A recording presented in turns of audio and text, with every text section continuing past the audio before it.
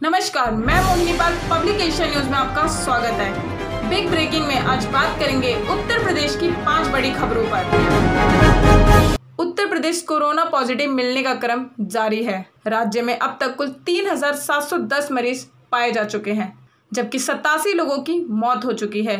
Corona virus की मुट्ठी में अब तक राज्य के चौहत्तर ज़िले आ चुके हैं लेकिन इनमें नौ जिलों पर उसकी गिरफ्त मज़बूत हो गई है।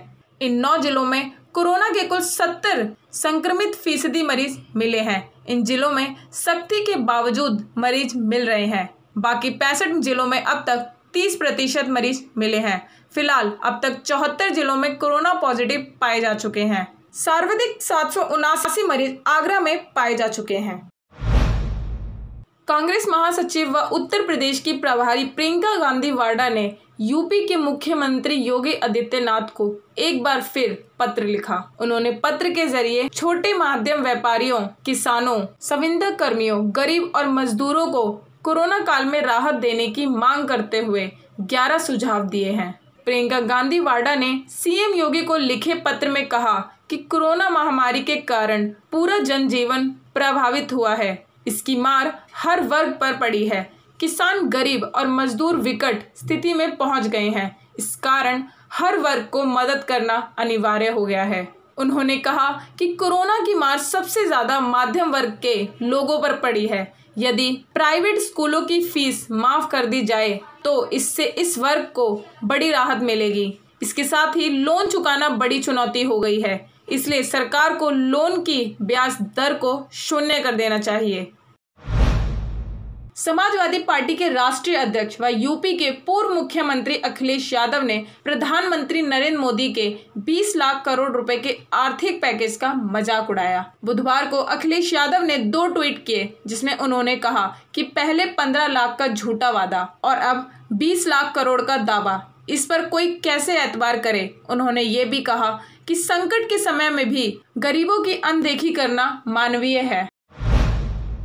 रोज़ाना बदल रहे मौसम को लेकर विभाग ने अलर्ट जारी किया है। अगले 48 घंटों के बीच मौसम अपना भयावह रूप दिखा सकता है।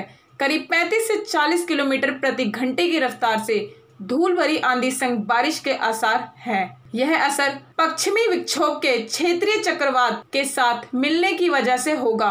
मौसम विभाग ने तेज हवा का सबसे अधिक प्रभाव राजस्थान, हरियाणा, दिल्ली, पश्चिमी उत्तर प्रदेश में रहेगा।